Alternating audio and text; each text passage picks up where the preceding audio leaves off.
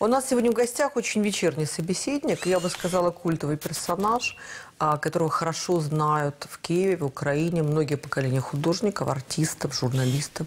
Это известный искусствовед, куратор, журналист Константин Дорошенко. Один из десяти ведущих арт-критиков Украины 2000-х по версии журнала «Арт Ukraine».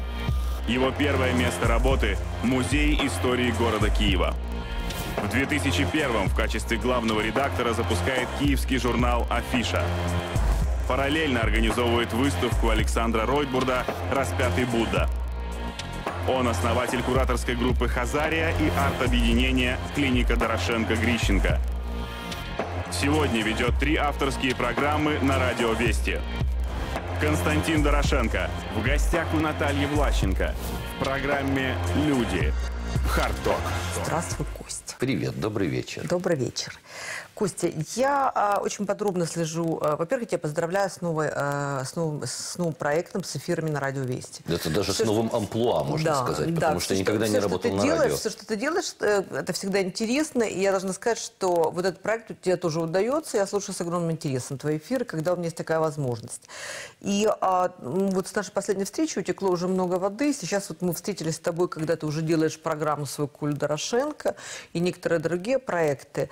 А вот страна-то изменилась за это время, за эти месяцы. Казалось бы, не виделись полгода. Страна... Вообще мы живем в другом обществе, в другом мире и в другом культурном контексте. все поменялось. Поменялся журналистский рынок. А, очень много там обвинений, агрессии в адрес друг друга. Там, я знаю, что там, у концерна «Вести» не очень хорошая репутация в среде там, против, противоположном лагере. Очень много там разговоров о 112 канале. Ты, ты вообще как к таким вещам относишься?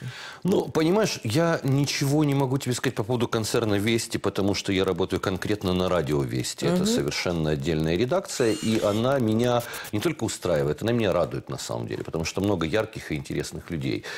От тех людей, которые являются продюсерами, редакторами, до тех людей, которые просто ведут эфиры. А, Потому что там даже наблюдать и слушать таких э, э, ребят, как э, м, Василиса Фролова или Ксения Туркова или Сакена Имурзаева, это просто приятно. Просто действительно интересно быть рядом с мыслящими профессионалами. Ну и скажу тебе, что что касается радиовести, то нам каждый день приходится прислушиваться к огромному количеству претензий со всех сторон. С одной стороны, нам звонят и обвиняют в том, что мы рука Москвы. С другой стороны, нам звонят и говорят, что мы занимаемся бандеровской пропагандой.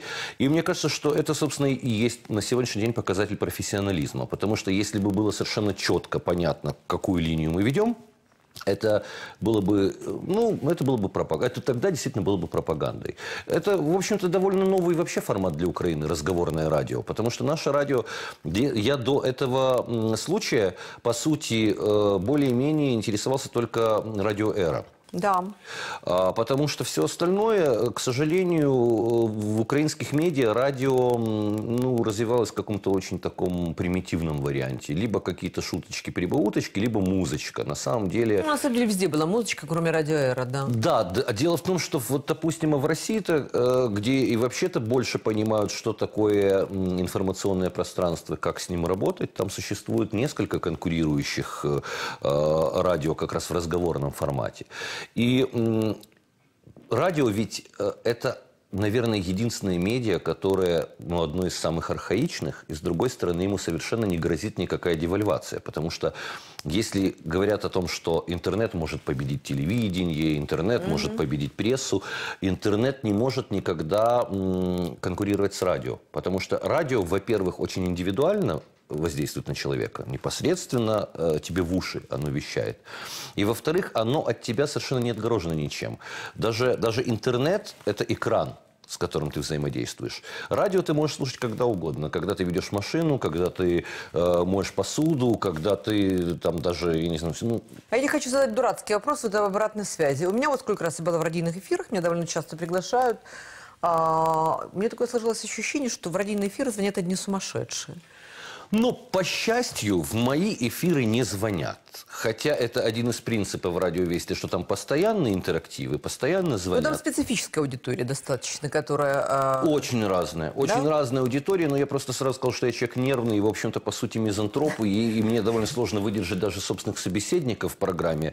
А если мне еще будут звонить, то просто меня придется уволить, потому что ну, обсценная лексика присутствовать будет обязательно. Поэтому я не, не принимаю звонков в эфире. Слушай, а вот я знаю, что для тебя новый опыт, э, э, может быть, не новый, но ну, по роду своей деятельности ты полжизни общался с а, людьми а, там, богемными, да, там, с художниками, с журналистами, с писателями. А тут у тебя как бы частыми гостями бывают политики. Ты вообще вот, э, у тебя твои ощущения эмоциональные от этого общения, вот что в сухом остатке остается? Ты знаешь, я стараюсь... Часто ли хочется в морду дать? По счастью, э, как раз вот э, в своих программах на радиовести я сам выбираю себе гостей и я общаюсь только с теми, с кем я хочу и с кем мне интересно.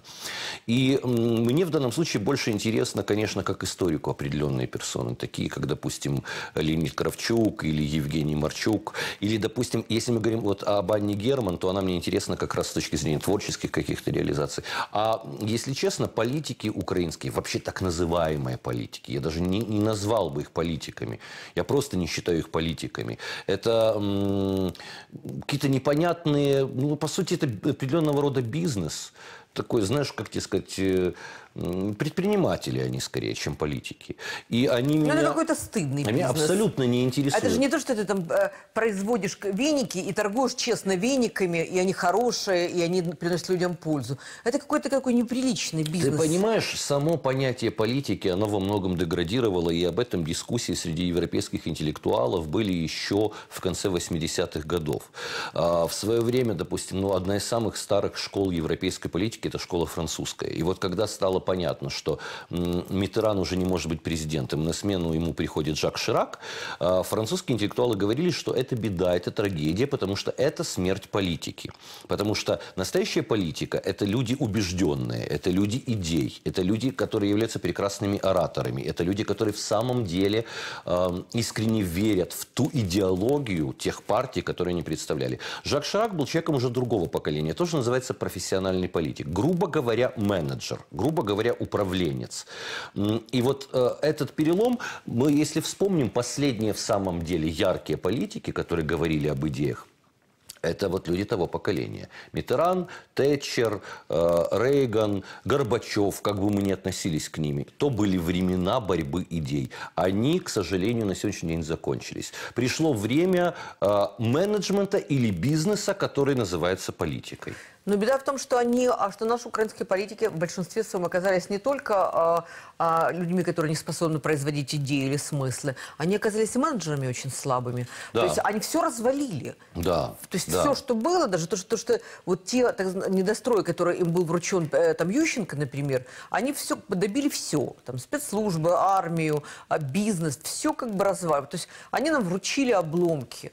Причем признавать этого они совершенно не хотят, по-моему, сегодня. Когда сегодня мы смотрим на наших политиков, в том числе на тех людей, которые сейчас баллотируются в мэры, в президенты, э, которые уже делят какие-то посты в кабинете министров, они производят впечатление людей, невероятно отставших от жизни, отставших от уже нынешних наших реалий. Мне кажется, что люди э, простые, ну, в общем-то, мы все непростые в той или иной степени, но люди, не ангажированные в политику, гораздо лучше понимают, в какой стране мы Они живут, оказались. конечно. Этих людей, что бы они сейчас ни рассказывали, еще несколько месяцев, несколько лет их снесет история вон. Они совершенно не понимают. Они продолжают, э, в том числе все лидеры нашей президентской гонки, они продолжают вести себя так, как будто бы последних полугода не было. А ведь процессы, которые вскрылись за последние полгода, они назревали гораздо раньше. Они назревали, по сути, 10 лет. И общество действительно стремительно изменилось. Особенно после того, как в обществе пролилась и продолжает проливаться кровь. Это невероятно э, жесткое обновление, в общем-то, для всего общества и для многих людей. И только так называемые политики, которые, по сути, только тем и занимаются, что с собой приторговывают и любуются собой, а, они, это, они просто действительно живут в другой реальности. Вот то, что Ангела Меркель сказала по поводу Владимира Путина, мне кажется, относится вообще ко всем а, Постсоветским политикам. Не ко всем постсоветским. Мне кажется, что Нурсултан Назарбаев или президент Азербайджана, угу. или лидеры балтийских стран, они все, в общем-то, более-менее живут в, в реальности. реальности. А вот что касается Украины, что касается России, действительно, эти люди живут в некой своей реальности. И даже не понятно, насколько они, по всякому случаю, украинские, смехотворны. Мне приходилось часто с ними сталкиваться, потому что и на культурных мероприятиях часто присутствуют политики, и часто от них зависит решение какой-то в культурной политике. И ведут они себя постыдно. Они ничего не в состоянии выслушать. Они несут одни и те же пустые фразы. Они очень удивляются, когда на них начинаешь повышать голос и предлагать им помолчать и лучше послушать, если они в чем-то некомпетентны. Хотел бы увидеть. Ты представляешь, ты себе не представляешь, а может быть и представляешь, насколько они меняются в лице и просто ну, э, они совершенно не готовы к элементарному нормальному общению с профессионалами. А, Костя, я знаю по твоему фейсбуку, насколько ты болезненно а, воспринимаешь то, что у нас произошло там с Россией. И а, даже ну, твоя близкая подруга Аглая Топорова, которая, ну, дочь, да, бывшая э, ответсек э, коммерсанта, когда он еще тут у нас был, и, ну, вообще, как бы, она известный а, журналист, а, известный в том числе в Киеве, в Украине. Она не, не так давно покинула Украину, насколько я знаю, уехала назад в Россию. И у вас бывают там такие, ну, достаточно резкие а, дискуссии и на страницах Фейсбука тоже. Вот как вообще, каково это, каково это эм, вступать вот в эти э, ну, не очень приятные полемики с близкими друзьями, с удивлением э, убеждаться в том, что люди, которые мы считали там, ну, людьми, которые нас любят, которые нас понимают. Оказалось, что они нас совершенно не любят и не понимают и так далее. Вот как ты переживаешь все эти процессы? Ну, видишь ли, э, в моей жизни очень мало по-настоящему близких мне людей. И каждым из них я дорожу. А Аглая Топорова – человек, которого я знаю много лет, больше десяти лет. На моя кума я крестил ее ребенка.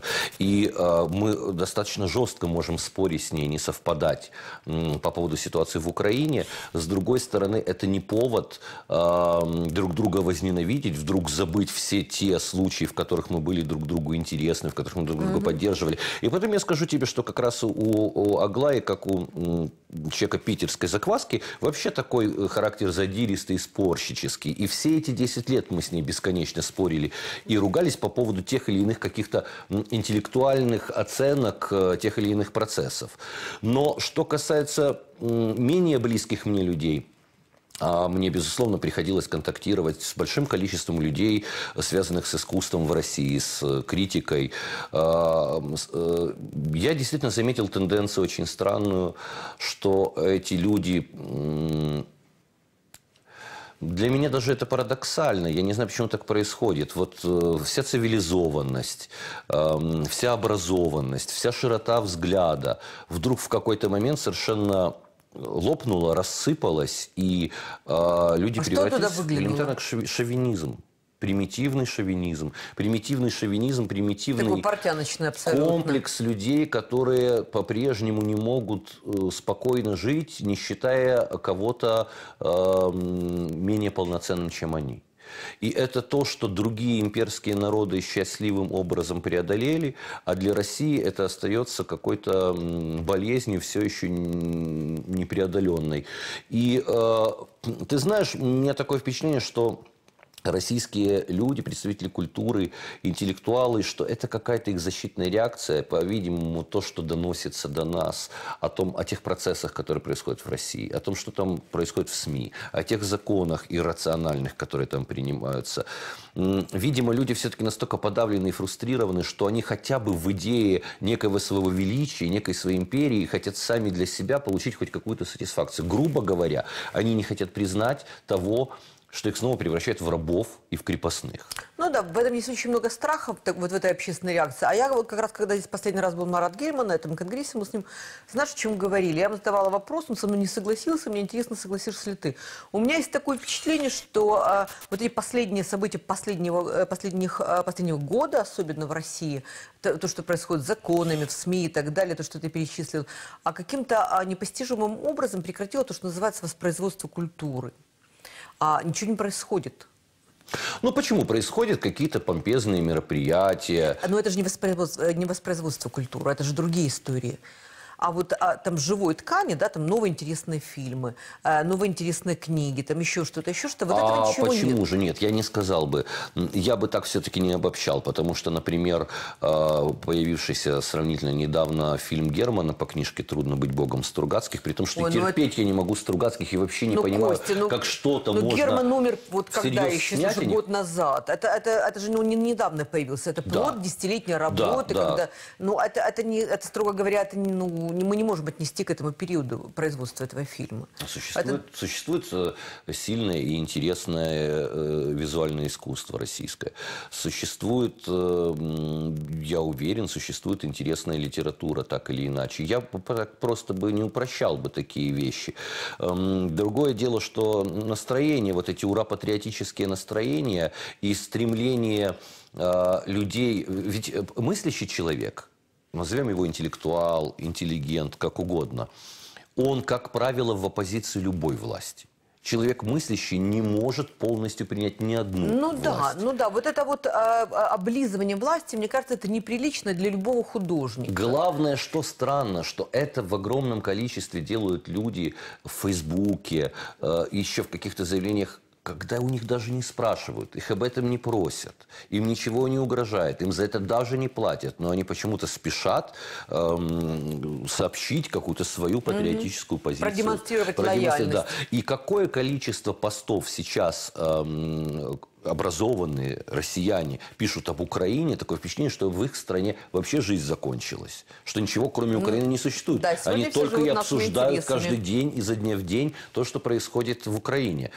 Но это тоже- большая какая-то родовая травма вообще на самом деле. Вот реакция общества на события в Украине, э, российского общества, мне кажется, это какие-то глубинные вещи, которые там были присыпаны пудрой и хлоркой до какого-то момента, и сейчас просто этот нарыв скрылся, потому что... Сама система формирования Российской империи, она э, очень специфическая по сравнению с другими империями мира. Она очень странная, потому что если очень упрощать, существует два процесса создания империи, два, два сценария колонизации.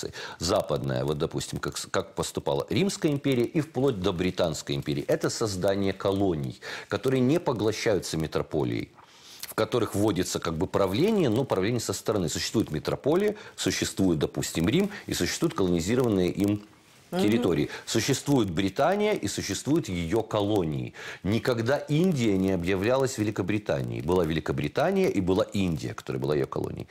Есть другой путь. Это путь азиатский, это путь степной. Так, как создавал империю Чингисхан. Он действительно поглощал все территории, которые рядом видел, но империя Чингисхана была абсолютно веротерпимой. Яса Чингисхана признавала абсолютно все религии, не признавала никакой разницы между народами. И на самом деле в ней была э, невероятная закваска на вот такой национальной, этнической и религиозной толерантности. Российская империя – это некий странный вот такой тяни-толкай, которая все в себя вбирает по э, принципам империи Чингисхана, не создает колонии, а просто поглощает территории.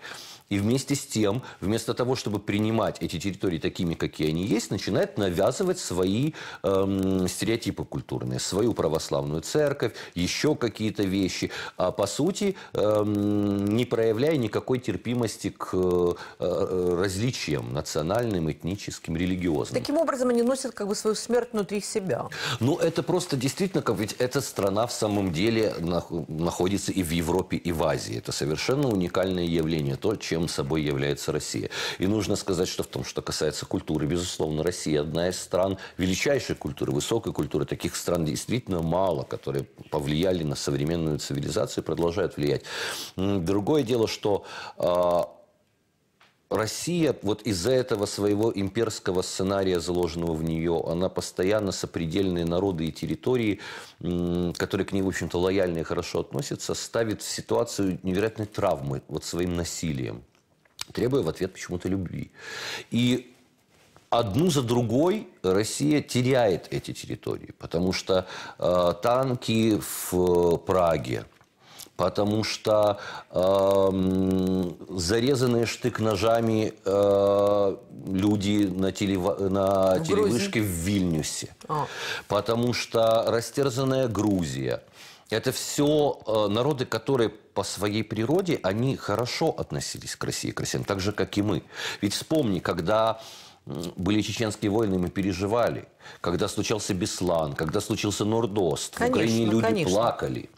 И мы никогда не могли бы представить, что когда начнет проливаться кровь у нас, те люди, которых мы действительно считали братьями, так или иначе, при всех различиях, угу. будут злорадствовать, и, на, и, и что они, этот наш брат, нанесет нам удар самым подлым образом в момент, когда правительство не сформировано, когда мы только пережили Майдан, когда страна только выдохнула первую пролившуюся но, ну, но ну, кровь, я... и в тот же момент, когда в, в Украине еще не было главы Генштаба, который мог бы дать хоть какой бы то ни было приказ, Россия аннексирует Но это знаешь, Крым. с чем сравнивала? Это вот когда человек больной выходит из больницы, он еще слабый, он еще и вот еле шатается на ногах, в это время выходит из подворотни губник и бьет его там куском трубы по голове, понимаешь? Когда он, этот человек не может просто даже сопротивляться.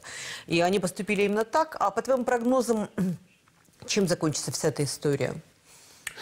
История, по сути, э, знаешь, самое-самое простое. Мы живем в великое время. Мы живем во время, когда творится история. Но не в первый да. раз, Наташа. На самом деле, мы, видишь, мы и, и входили в это время, мы входили в свою э, жизнь, когда тоже творилась история. Когда развалился Советский Союз на глазах. У нас. Это для многих людей, для миллионов людей. Это было крушением целой цивилизации. Да. Более того, не только в Советском Союзе, для многих людей в мире, которые верили в этот модернистский проект, это тоже было крушение, момент определенной фрустрации. И 90-е годы сопровождали нищета, бандитизм, бог знает что. Однако это мы пережили. Но видишь, вот это знаменитое время перемен, оно, видимо, когда начинается, на, как бы на протяжении жизни э, нескольких поколений вот и не заканчивается. То есть мы прожили много кризисов сложнейших. Мы прожили и дефолт в 98 году Кириенковский, и Украину без Кучмы, и э, 2004 год. И сейчас снова. То есть мы входим сейчас в затяжную фазу, с твоей точки зрения? А может быть, эта фаза просто продолжается. Может быть, это просто продолжается. Мне кажется, что это все еще продолжение конвульсий, развала Советского Союза. развала. И не только Советского Союза, потому что Советский Союз был продолжением той Российской империи. Это все еще фазы, вот те, которые начались еще, может быть, с, с Первой мировой войной. Костя, сути. что ты думаешь о судьбе искусства вообще в принципе? Вот, некоторые там предрекают близкую смерть книги, некоторые предрекают смерть еще чего-то. Но то, что роль искусства в жизни человека, она становится такой маркетинговой утилитарное, это, ну, как бы совершенно очевидно. Люди больше не хотят думать, люди больше не хотят... Люди хотят потреблять, вот, знаешь, кушать. А видно, как по потреблению кино это, по потреблению литературы, видно, что пользуется успехом. В журналистике очень многие мои коллеги хотят уходить из профессии, потому что они говорят, что журналистика а потребителю нужна, да, только в той части, в которой она там, ну, окрашена в желтые цвета и так далее. Каждый вот, выбирает да. сам, понимаешь? Люди могут хотеть, э, это как инвестиции, быстрые и долгие. Угу. Если журналист или писатель или художник хочет очень быстрого успеха, он должен потакать толпе. Если человек все-таки заинтересован в развитии себя и искренне верит в свое дело, он никому потакать не будет. Достаточно долгое время я не работал и не сотрудничал с медиа, потому что для меня эта ситуация исчерпалась. Но сейчас, допустим, на, определенном этапе с этим предложением от радио, хотя я никогда раньше не работал на радио, э, на этом этапе пришло мое время. Не знаю, сколько продлится оно, год или несколько. Но в данном случае я могу делать то, что я хочу и считаю нужным. Я совершенно при этом меня не интересует ни желтизна, ни рейтинг, ни то, э, кто похвалит меня, кто поймет и кто нет. Я очень рад, что я могу предоставить возможность высказаться, в том числе писателям, философам, художникам, между прочим, ученым, которых в Украине достаточно много. И пусть мало людей это будут слушать, но те, которые будут слушать, они не зря будут это делать. То же самое в искусстве и во всем. Да, есть потребители всего, но это снова таки миф какой-то. Это такой миф из, из диких 90-х, когда нас учили фразе «продавай себя, умей себя продать». Что давайте мы напечем пирожков, и, конечно, мы их быстрее продадим, ну, чем ну, ну фуагра. Ну, но... но разве ты станешь ну, возражать против... Э, ну, совершенно очевидно, что абсолютно большинство человечества спокойно живет а, без всякого искусства. Так а, было всегда. С, там, я не знаю, А в чем новость с здесь? гаджетом в руках и заначкой в тумбочке. И Ну а в никому- чем здесь новость? Ну, никому раньше надо, раньше да. эти люди жили не с гаджетом в руках, а с чем-нибудь другим в руках. Так, может быть, значение искусства вообще как бы в жизни человечества преувеличено, нет? Нет, конечно же, не преувеличено. Искусство изменяет жизнь. Искусство во много-многие вещи предугадывает. И то, что рождается на территории искусства, спустя десятилетия, иногда и столетия только доходит до человечества. Сейчас э, в мобильных телефонах люди загружают себе мелодии Баха, а когда Бах в XVIII веке, собственно, работал как композитор, он был очень мало известен. Главными композиторами 18, главным композитором 18 века был вообще Георг Фридрих Гендель. Баха никто и не вспоминал. Баха открыли фактически в 19 веке. Открыли как высокое искусство. Сейчас мелодии Баха в мобильном телефоне. Вот как искусство как бы из, из э, зародившегося и неузнанного через момент высокого приходит просто в повседневную жизнь и ее каким-то образом изменяет. Э, Оно под другим, э, как бы, понимаешь, искусство требует очень серьезной отдаленности для того, чтобы понять, что это такое. Поэтому сегодня можно судить по рейтингам, что продается дороже, что продается дешевле. Для истории искусства это ничего не значит. Какие люди или события за последний год оказали на тебя воздействие? О, ты знаешь, да, за последний год было так, на- наверное, все-таки наибольшее воздействие а, оказали события, которые происходили на Майдане. Причем это были невероятно очень, очень драматичные переживания. Потому что, конечно, а, все мы помним прекрасно с детства, как мы даже хихикали над тостами наших бабушек о том, что лишь бы не было войны. Никто из нас не мог поверить, что кровь может проливаться не где-то там, а в Киеве, на ну да, одно соседней дело улице. в кино или читать на соседней книгах, улице. а другое дело видеть перед собой труп. Вот. И, конечно, переломным моментом для меня, при том, что я очень скептически первоначально относился к Майдану, потому что я прекрасно понимаю, что международные соглашения о вступлении или не вступлении в тот или иной союз на Майданах не подписываются. А, Поэтому я э, не пылал особым каким-то энтузиазмом по поводу начала нашего Майдана, тем более, что прекрасно помню Майдан 2004 года. Я достаточно искренне тогда к нему отнесся, хотя меня совершенно не интересовал Ющенко, если честно. Меня интересовало право на собственное достоинство и, мое право выбирать. В данном случае я, как человек образованный, понимал, что немедленное подписание ассоциации съезд ну, не было возможно на тот момент, так или иначе, в силу совершенно разных причин. В том числе в силу давления России. Но мы не можем отрезать себя от карты, не можем превратиться в плавающий остров и отплыть от берегов России. Мы все равно находимся рядом с этой страной. Хороший, плохой, любимый, ужасный. Это нужно учитывать, нужно быть реалистом. Но вот когда на Майдане пролилась кровь, конечно, отношение категорически изменилось. И это была та черта, которую перешла власть, и которой в самом деле Украина не переживала и не видела со времен э, Второй мировой войны и партизанского движения. В этом россиянам трудно нас понять, потому что в России э, постоянно происходит та или иная война. После Афганистана... Ну да, они воюют После постоянно. Афганистана, Чечня. да, Чечня, эм, советские войска в Карабахе. Грузия. Да, э, Грузия. Э, э, Ситуация кровопускания, она нормальна. Органична для она них. органична для э, государства Россия. Вспомни только за всю историю Российской империи был только один глава государства, при котором не было военных конфликтов. Александр III. Он был прозван миротворцем. Любой другой правитель России обязательно сталкивался с тем или иным кровопролитием. Мы жили довольно много лет без войны и без крови. И, может быть, и, может быть, сейчас мы действительно э, заплатили и продолжаем платить какую-то историческую цену за то, что мы были слишком беспечны.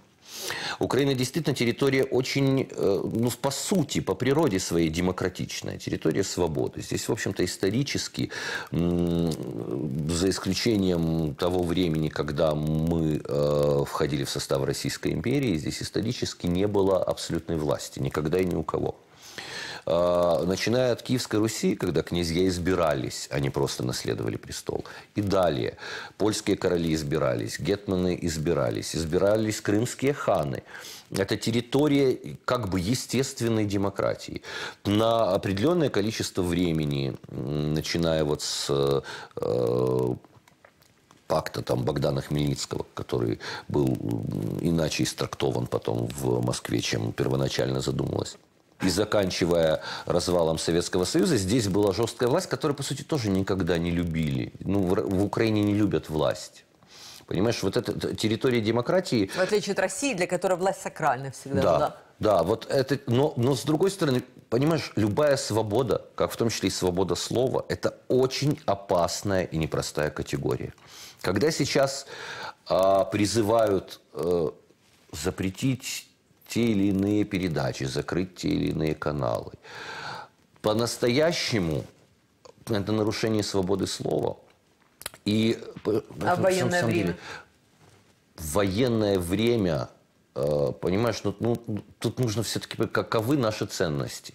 За что люди погибали на Майдане?